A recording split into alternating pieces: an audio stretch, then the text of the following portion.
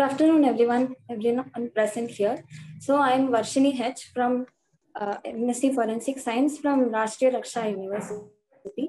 I'm here to present my review paper on time of flight secondary ion mass spectrometry, its overview and its forensic applications. So in uh, criminal, criminal investigations, usually uh, instruments play a very major role in analysis of evidences, identification of suspects, and uh, providing a link from suspect to crime scene. So uh, usually mass spectrometry and chromatography techniques are always important in forensic science laboratories.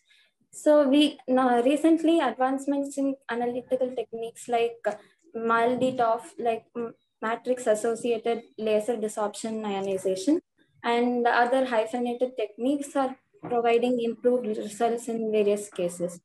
Here, time of flight uh, mass secondary ion mass spectrometry is a very important instrument and it's usually not uh, studied so much. So this is a surface sensitive analytical method. This provides elemental and molecular information in very low detection limits in the range of parts per million or even parts per billion, billion under optimum conditions. This technique, uh, this instrument can measure and identify all the elements of periodic table from hydrogen to uranium, along with its uh, molecular species, ions, and even isotopes. In this technique, the uh, instrument uses a pulsed beam of uh, heavy ions, usually cesium or microfocused gallium ions, and it removes the very minute uh, particles from the uppermost layer of the sample, that is the atomic monolayer of the sample.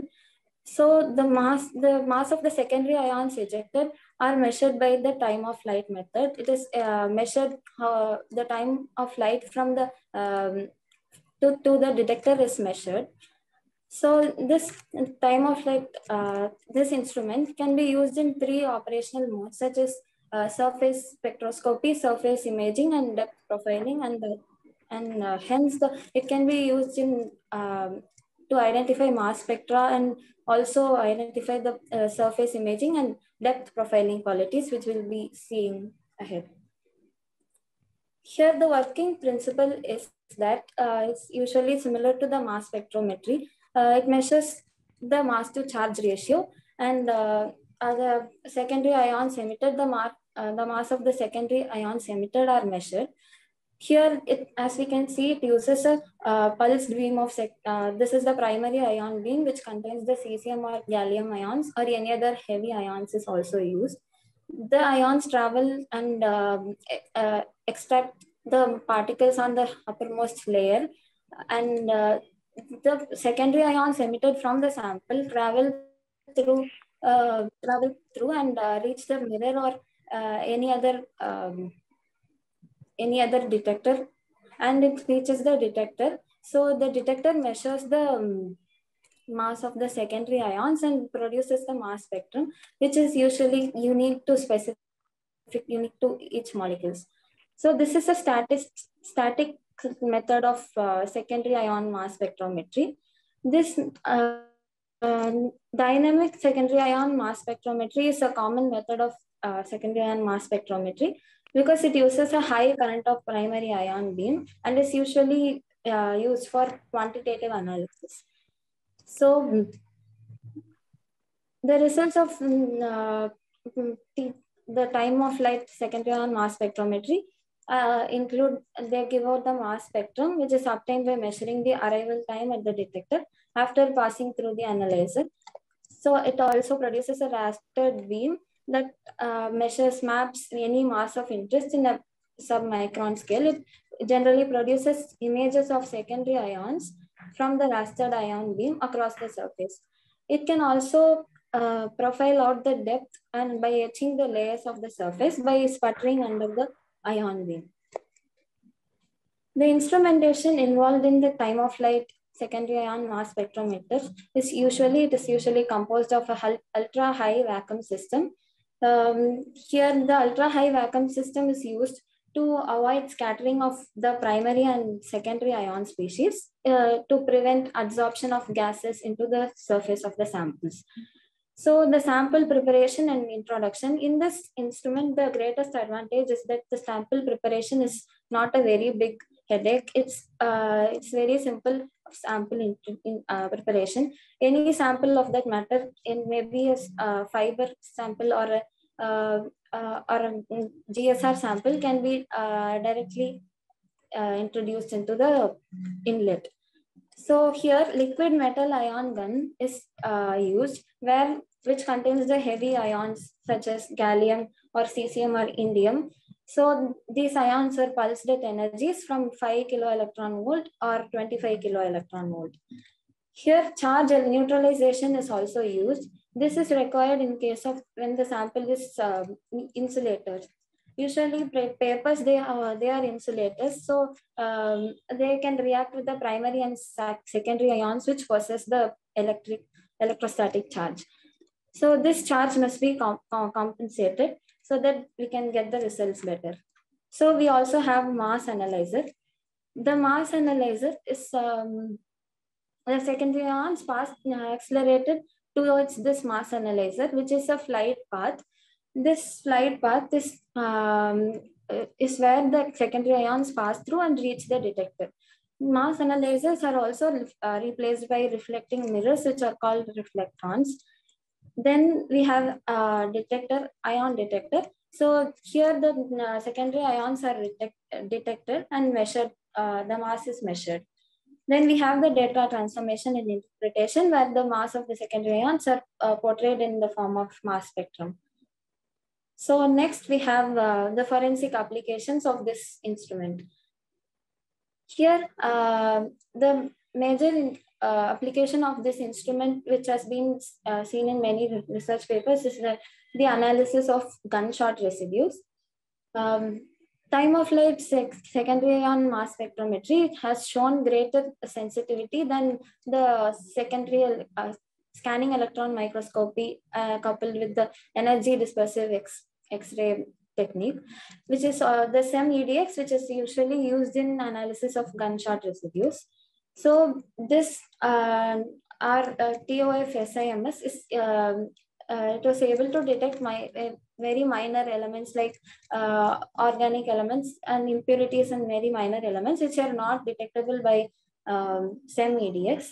So uh, the GSR components here, which it can also be analyzed from a secondary sub, uh, substrate when transferred from fingers. Like when we, um, when the fingerprints which have uh, fingers which have GSR components are used, uh, kept on a table or mobile phones or any other surface of that matter. When that surface is analyzed, the GSR components can be developed uh, successfully from that surface itself. So some uh, EDX in this uh, instrument uh, could only detect barium and lead, whereas this time of flight secondary ion mass spectrometry was able to uh, detect barium, lead along with other ions also like potassium, uh, potassium, sodium, silicon, and calcium. So the uh, elemental mapping that uh, here we can see the uh, elemental mapping of the um, secondary ion mass spectrometry. Here it is uh, it shows the spatial distribution of the elements on the samples. So the uh, intensity of the uh, samples depend determine the brightness of the images produced. So here the barium barium of hydroxide lead each elements and this, this these images show the how these elements are distributed in the samples. Here, this is an image of the SEM image, a scanning electron microscopic image. This is a um, same image of lead uh, showing the lead distribution of time of flight secondary ion mass spectrometry. Um, then we have uh, analysis of different type of pro propellants like smokeless powders and uh, gun gun powders, black powder samples. So uh, here mm, uh, a research paper was uh, research was conducted where smokeless powders and six different black powder samples were characterized. So they were uh, differentiated successfully from one another. Uh, there were three different smokeless powders and six different black, black powder samples were differentiated. Here, um, nitroglycerin, uh, nitroglycerin was detected in a very low intensity because it is highly volatile and it's not suitable for the uh, high, ultra high uh, vacuum system. Here, nitrocellulose and other components are addit uh, additives, hydrocarbons, and contaminants are also identified by the time of flight secondary ion mass spectrometry. Uh, from the black powders, strong potassium nitrate, sulfur, sulfur, potassium, sulfur, then potassium chlorate, benzoic acid, dicyanodiamide were all, were all detected and identified. From the smokeless powder, nitrocellulose and other additives like stabilizers were uh, identified from the smokeless powders. Here, uh, difficulty in using the instrument was faced where the ultra high uh, vacuum, which was uh, difficult to analyze. And um, this instrument requires high expense and it is difficult. And it, uh, the data generated by this instrument is also very complex in nature, which is why this research has used principal component analysis, a statistical tool which is used in simplifying and reducing the dimensionality of the instrument. So uh, in this image, we can see the um, uh, imaging of the instrument where uh, this is the, uh, the components of the powder is seen here. So this is the overall uh, intensity of the image where overall intensity of the particles where uh, this is sorry this is this is the image of the instrument under my sorry the particles powder from the microscopy. And here uh, the smokeless powder was pressed against an indium foil and um, uh, examined. So the indium foil the spatial distribution of indium foil can be uh, seen here and this shows the ethyl centralite that is it is uh, only around corners. It is a coating for the smokeless powders which is usually used. And the, uh, this is silica contamination of uh, unknown contamination. So this can be uh, also used to individualize this type of powders from uh, some other type of another type of powders so we have uh, next application is uh, in forensic document examination. Here the um, uh, inks inks used in uh, in the documents can be analyzed and discriminated. Uh, in particular researches, there were inks of different manufacturers were analyzed and distinguished from one another. Here, in one of the research, which is cited, uh, five red sealing inks were analyzed and discriminated by their spectra, and uh, it was completely dis discriminated by this instrument from one another. Then uh, 13 most commonly used blue ballpoint uh, inks was also analyzed and was distinguished from one another. So this instrument is uh, very useful in distinguishing uh, one the type of inks from one another uh, it, this instrument can also be used to distinguish the uh, inks after they are being examined through TLC plate. The TLC plate, uh, the instrument can be uh, used in complementary along with the TLC uh, technique. So this uh, in, these things are differentiated by the characteristic elemental profiles which are generated from the spectra and uh, this is uh, thus it is helpful in inks and um, differentiating inks and dyes which can be also be used alongside TLC. So this has uh, because it has high sensitivity and resolution of the imaging, it is very useful in uh, discriminating the inks. We can also determine the sequence of strokes of the uh, documents, which is usually done in forensic document examination. Here, as you can see in this image, two colors, different colors of ballpoint inks was analyzed in uh, time of flight secondary ion mass spectrometry. The imaging produced, uh, we can clearly see that the uh, second ink, the uh, horizontal ink is um, what is, uh, was drawn later than the uh, vertical ink.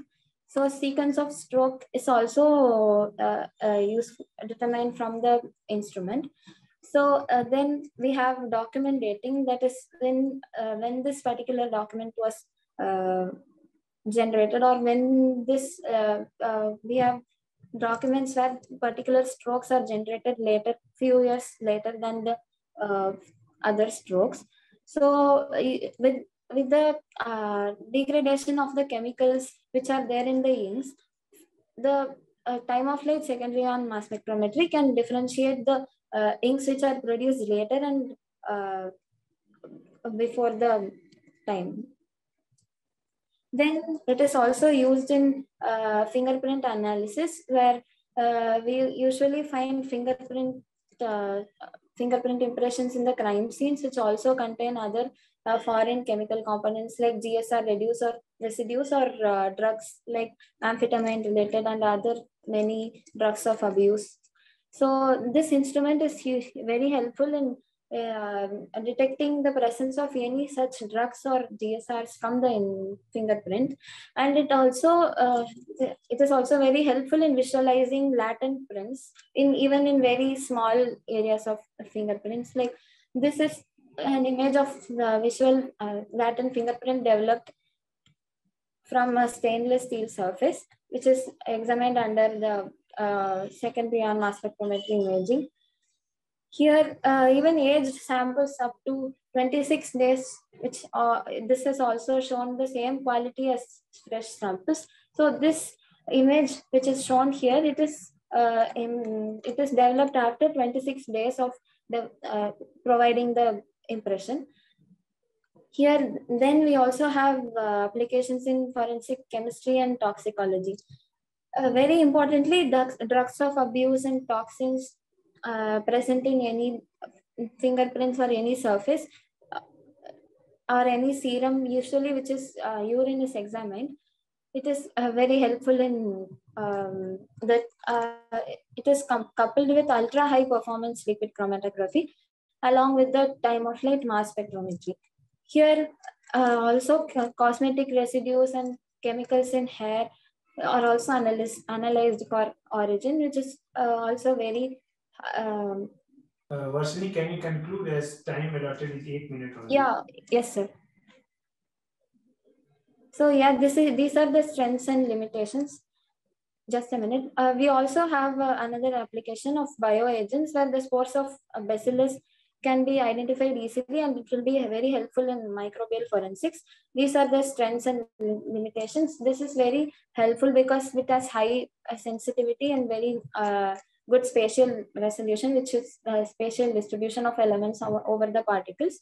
So we have also limitations like expensive and time consuming